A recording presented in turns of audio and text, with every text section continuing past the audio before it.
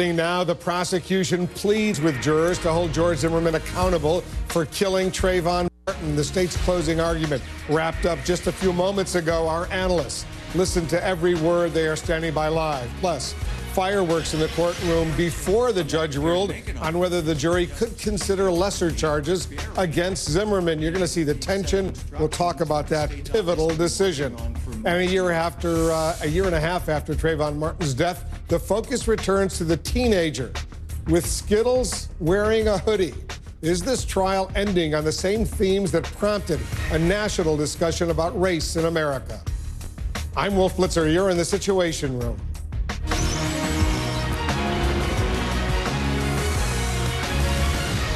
The prosecution wrapped up its case against George Zimmerman by portraying him as a frustrated, angry wannabe cop who profiled Trayvon Martin as a criminal, making false assumptions that proved deadly.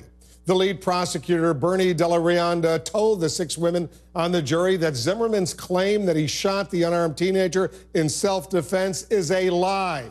He spent more than two hours delivering the state's closing argument, outlining the case for second degree murder and a lesser charge, potentially, of manslaughter.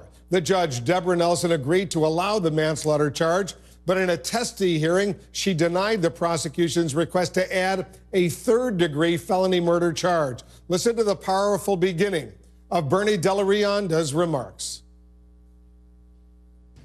A teenager is dead.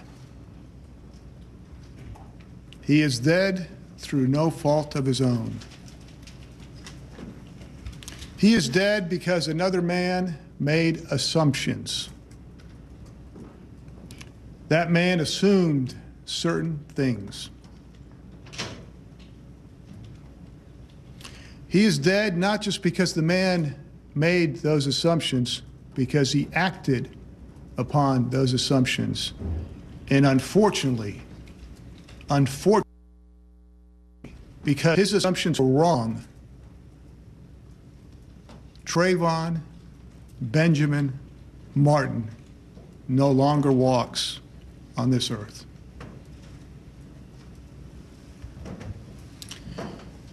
The defendant in this case, George Zimmerman, acted upon those assumptions.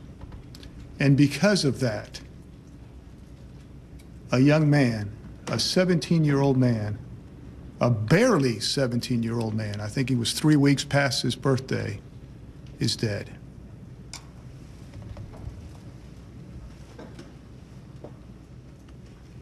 Unfortunately,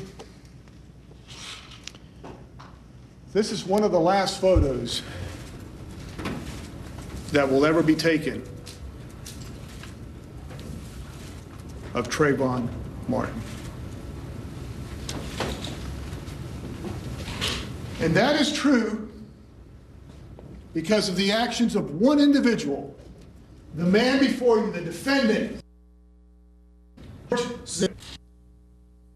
The jury saw that photo. We can't show you that photo. Let's bring in our panel, our senior legal analyst, Jeffrey Toobin, our CNN correspondent who's been covering this trial, Martin Savidge, and our legal analyst, the former federal prosecutor, Sunny Hostin. Uh, Jeffrey, let me start with you. Uh, I thought he delivered a very powerful uh, closing argument. What did you think? I thought he did a good job. Um, I think he bet very heavily, especially in the second half of his summation, that Zimmerman's own words that his various descriptions of the uh, events of that night will convict him. The, the, the contradictions. He, he spent an enormous amount of time going over Zimmerman's own words. I, I think in part that was effective. I also thought he neglected a lot of the rest of the evidence. And, and, and I expect you'll hear uh, more from the, the defense on that subject tomorrow. But I mean, this was, I thought, a very competent uh, uh, closing argument, and the jury has enough before it to convict him of either uh, second degree murder or um, uh, manslaughter. And now that the, ju- the judge, uh, Sunny, allowed that potential manslaughter charge to be considered by the jury. There's less of a hurdle, less of an obstacle to get a conviction as far as manslaughter is concerned, as opposed to second degree murder. That was extremely important for the state. Oh, no question about it. I mean, the jury's going to have several choices in front of it. And, and you know, I, I, I echo Jeff. I thought it was a very good, solid, uh, closing argument. Remember, this is just part one. Part two is coming. John Guy is going to rebut whatever the defense puts forth because, of course, the, the burden is on the prosecution.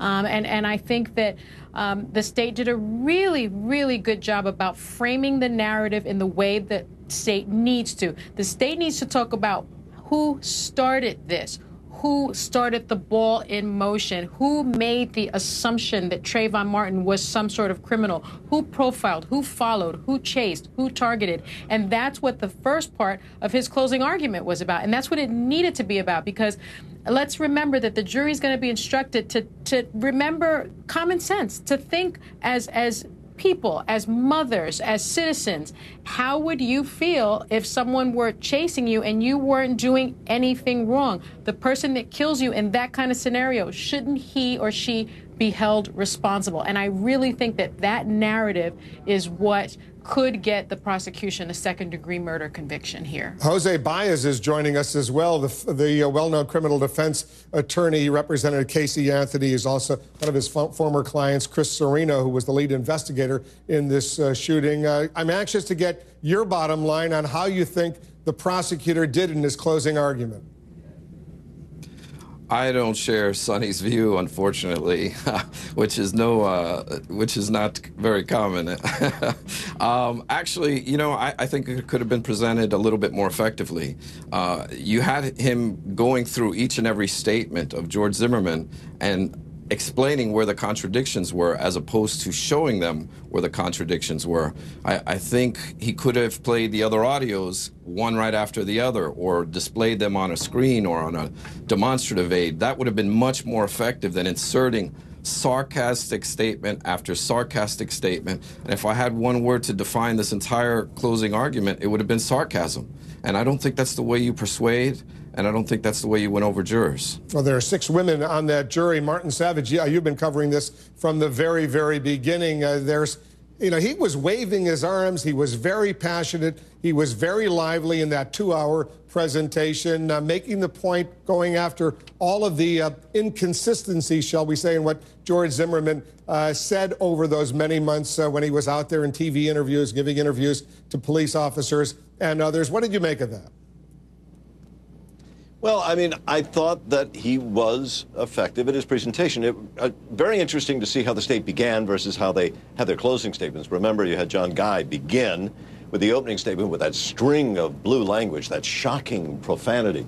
Um, this time, you have Bernie de la Rionda starting in, in a, a, very somber tone. It's almost like he is overseeing a, a eulogy and, and beginning with that very uh, quiet cadence, but very powerful language. So that was different to, to see how that. But he progresses. You know, he, he becomes like that preacher who, who gets wrapped up with the fire and the delivery.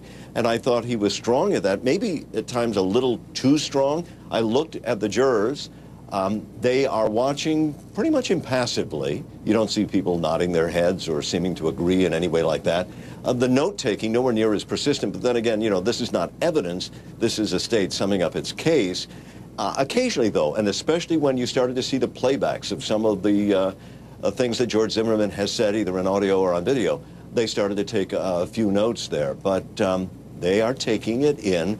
But I, you know, if you're trying to read their faces, I can't do it. And of course, tomorrow, I, Mark O'Mara, I spoke to him uh, last evening. He was very bothered by this schedule that the prosecution's allowed to make this big opening closing statement, and then the jury gets excused. So they're going to sleep on this all night long. They're going to have that uh, sort of that tale echoing in their heads. And of course, he doesn't get to have a crack at that until tomorrow morning. And then after him, uh, there will be one final opportunity for the prosecution to give uh, its rebuttal, if you will. They'll get the last word before the jury starts its own deliberation. Let me play another clip. Here's Bernie uh, uh, in his final statements. It shows a little different tone than the clip we played earlier.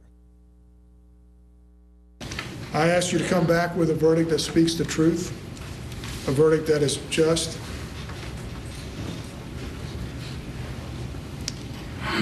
You heard from many people in this case, and I've summarized some of them.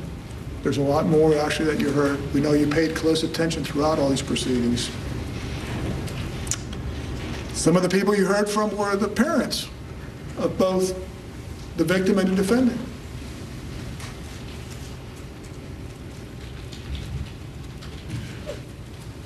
Unfortunately, the only photographs left of Trayvon Martin are those ME photographs. I mean, they still got other photographs, and you saw some of them, the football when he was younger days, but they can't take any more photos. And that's true because of the actions of one person. The man before you, the defendant, George Zimmerman. The man who is guilty of second degree murder. Thank you. George Zimmerman shaking his head. Uh, what did you think of that last little maneuver, pointing his finger, Jeffrey, directly at George Zimmerman? You know, the, the first line of Scott Turow's famous book, Presumed Innocent, in the voice of the prosecutor is, You must always point. It is sort of the classic gesture of the prosecutor. It's a very, it's a very aggressive thing to point at someone, and prosecutors always point. And uh, that's, uh, that's, that's very good. It's very standard. It's also, you know, it's done all the time, so I, I don't think it's, it's exceptional. But, um, you know, I, I, think it's it's very competent, like this entire uh, but it's, summation. Go ahead, but it's exceptional for this. It's exceptional for this jury because this jury hasn't, you know. Uh, been uh, impaneled as a jury. So this is the first time they see that. And Jeff is right. This is something that prosecutors are trained to do. It's something I did with each and every closing argument. And the reason behind it, Wolf, is that if you are asking six women or, or 12 men and women to convict someone of second degree murder and send them to prison, you have to show the jury that you are confident that this is the person that did it. You can't be afraid to point and lay blame and place responsibility. And that's why it's so effective. You're, in a sense, giving the jury permission to find uh, the defendant culpable. And I think it's a very effective tool that's been done for decades by prosecutors. Well, if they get they they issue that finger on the first day of prosecutor That's prosecutor right. school. That's true. It's a technique, I guess. true. It's well known. I, as soon as I saw that finger pointing directly at George Zimmerman, I said, I think I've seen that before. But you know, you never know. Uh, these six ladies on, on the jury, whether or not they like it, they don't like it, we'll find out at some point. Everyone stand by. We have more analysis to go through, more excerpts from this closing argument from the prosecutor. He goes to the floor with a dummy. Once again, it was just one of the pieces of evidence used in today's dramatic closing arguments. We're going to break down this part. What was Bernie de la Rionda doing before the jury in his closing argument with that dummy? We're going to break it down for you when we come back. Armpits. How does he get the gun out?